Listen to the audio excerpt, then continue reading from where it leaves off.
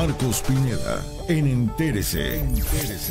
Como todos los lunes, me da mucho gusto recibir en la línea a Luis Carriles, el director de la prensa, el periódico que dice lo que otros callan. Mi querido Luis, qué gusto saludarte, ¿cómo estás?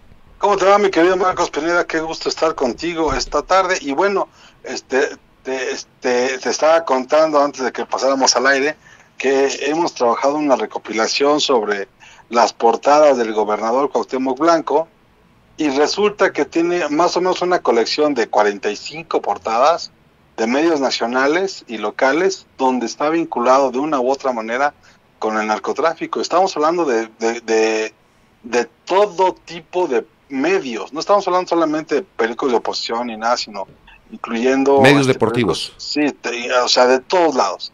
En todos lados lo están sacando de que, de que el, la última eh, y esto y este ejercicio de, de, memoria más que periodístico es un, es un ejercicio de memoria básicamente tiene que ver con que pues este hoy fue portada, portada de proceso no, y, en la portada de proceso pues tú y yo sabemos no no llega cualquiera y no llega fácilmente y bueno pues el mérito lo ha hecho no el, tamaño de, pues sí el trabajo para para salir este en una portada durísima de proceso pues está hecho no entonces, páginas dedicadas al personaje. Cuando sale Cuauhtémoc en la primera plana de los medios eh, nacionales...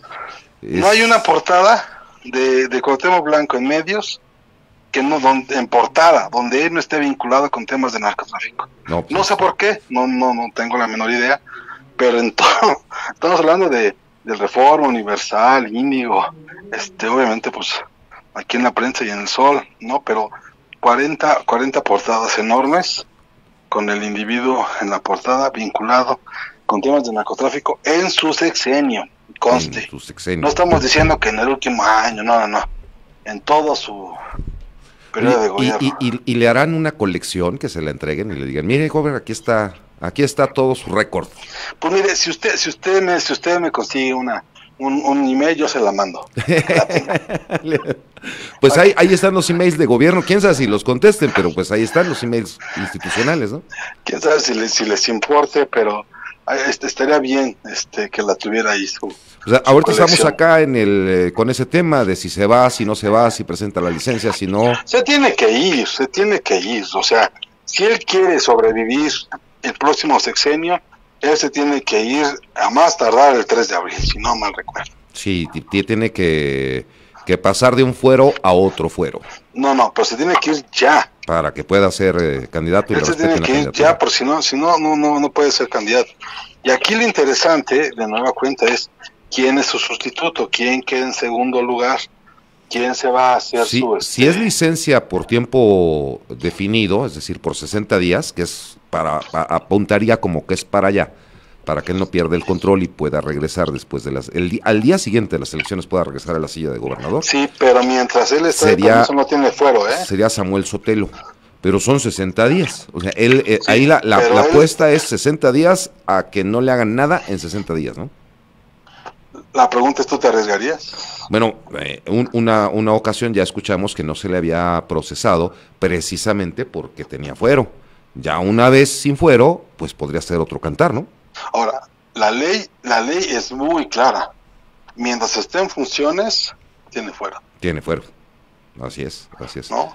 una vez que él, una vez que él deje el cargo de manera provisional, lo pierde. Ahí es donde corre el, el, el riesgo, lo que seguramente estarán valorando en su equipo de abogados. Exactamente, o sea, es un, es yo siento que es una estrategia de perderlo todo y perderlo ahora. Ahora, la, primera, la, primera, eh, bueno, en el momento en el que el tribunal emite la sentencia y nos dicen, se tiene que ir inmediatamente, se tiene que ir inmediatamente, en ese momento decíamos, pues ya lo dejaron vulnerable, ¿no? Porque renuncia, o sea, pide licencia, se va del cargo, pierde el fuero, ya, ¿no? Y se va y hasta septiembre eh, estaría tomando posesión. Ahora, y, y, si, y si no lo hace y dice, no me voy de candidato, pues pierde el fuero terminando su sexenio. Pero ahora, como que todo, todo lo armaron, darle esos otros 12 días, lo armaron, pero, pero justo, justo, justo para que sea el menor tiempo posible el que esté sin fuero. Pero no le da tiempo, o sea, él como sea está sin fuero. Si él, si él, tiene que dejar el cargo aún con, como licencia, el fuero, de fuero se va con él. Sí, ¿No? Se, va con él. Ahora, el fuero se va con y ahí dependería de, que, de qué carpetas eh, se, se, fueran judicializadas qué, tan rápido actuaran los, los, jueces, actuaran rápido o lento sobre esas carpetas de investigación, ¿no? ¿Qué carpetas son y qué, argumentos tienen? Ajá, así es. ¿Y qué argumentos tienen para sacar adelante estos? Mira, lo que nos cuentan es que las que están más tranquilas son las relacionadas con temas de dineros. Pero hay otras que podrían estar más fuertes, más fuertes. Mira, yo te voy a decir una cosa, independientemente de que cuál, ahí va a depender de qué, de qué, de qué, en qué fiscalía caigan. ¿no? Si caen en la Fiscalía de México, si caen en la Fiscalía Federal, si caen en la Fiscalía de Morelos, no, porque hay muchos temas abiertos. Ahora, aquí el asunto es si la jefa de gobierno o la ex jefa de gobierno, hoy candidata Morena, lo quiere ahí cerca.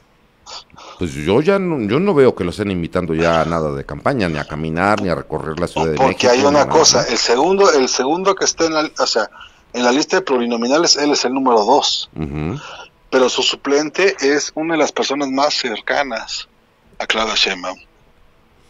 el presidente de Morena de Ciudad de México, Sebastián Ramírez. Si él... Que fue su vocero un ratito aquí. Digo, no, no, no hizo mucha chamba de vocero. Era más, hacía más bien como, como gabinete, como no, pero este, ahí anda. O sea, aquí el asunto es, es, muy, muy, muy simple. Si la, si el, si el, este, si le quieren ellos entrar al tema de, de este, de ser legales, van a tener que tomar una decisión muy, muy pronto y salir literalmente con el amparo en el brazo, ¿eh? Con el amparo en el brazo, así es, así es, así es, así es. Bueno, pues Oye, ya, ya, ya, ya, hablaremos después de otro tema que... Oye, el, otro tema, te, te, vamos a mandar... Te, voy, te voy a mandar los, los sobre Sinaloa, sí, luego hablamos, pero te, voy a mandar los documentos que ya tenemos sobre Mónica Bogio Tomásas Merino, la jefa Oye, a ver, ¿qué, ¿qué, pasó con ya ya tenemos los documentos, tenemos todos. Los que demuestran que, cómo se ha cambiado de domicilio, en qué empresas ha trabajado, todo qué eso. Barbaridad. Ya bien documentado para que no nos puedan decir. Usted está, usted está, para, usted está aquí para hacer cumplir la ley, no para violar la ley. Sí. Bueno, siguiendo los pasos de Cuauhtémoc, porque él llegó así. Él llega violando la ley, llega dándole la vuelta a la ley para poder ser candidato a presidente municipal de Cuernavaca, ¿no? Oye, y, luego hablamos del tema de la bronca Sonora Sinaloa, ¿no?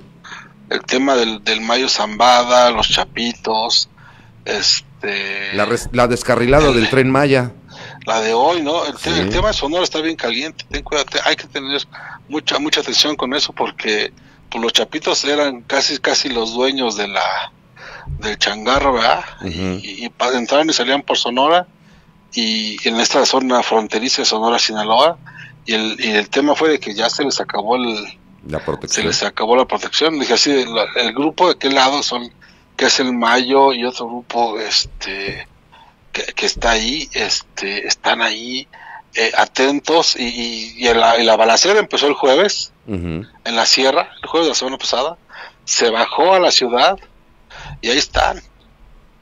y, es, y, es, y es un tiro entre facciones de que se suponen eran amigas, ¿no? Entonces, este, ¿qué fue lo que cambió?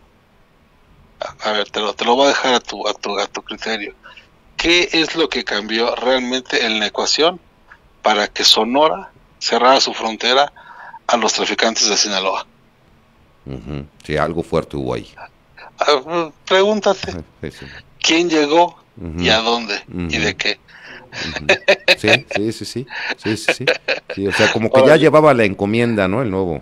No, no, no. Alguien llegó, o sea, de pronto fue un, ya, se acabó. ¿No? Este, y, esta vecindad que había estado funcionando por los últimos cinco años se acabó. Sí, sí. Oye Luis, antes de que nos vayamos, por ahí ya leí a alguno de los amigos que dice, ay, no sean exagerados, ¿no? Eso es lo que va a decir el presidente. No sean exagerados, no magnifiquen las cosas. Si el tren Maya nada más se descarriló tantito, nomás fue un vagón. Nada más un vagón, pero pues este, acuérdate acá, no, no, no, no, acabamos de oír ni hace ni dos semanas el tema del, de los balastros y cómo eh, Amílcar decía, pues ya, ya se descarrila ya no hay bronca. Sí, dice, ya, ya, ya vemos, ¿no? Ya después vemos si se descarrila. Y mira, voz de profeta. Voz de ya, profeta. No, es bronca nosotros, mi bronca es vender esto. Digo, afortunadamente no hay ninguna persona lesionada, ¿no?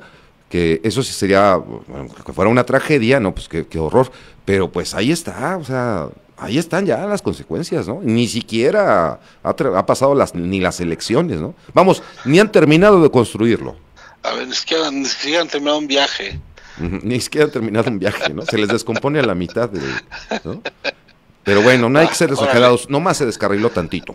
No más fue un vagón.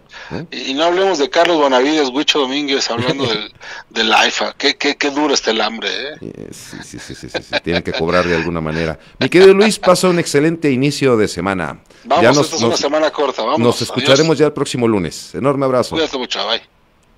Bien, pues fue Luis Carriles, el director de la prensa del periódico que dice lo que otros callan. Sin duda, el periódico más leído y vendido en toda la República Mexicana.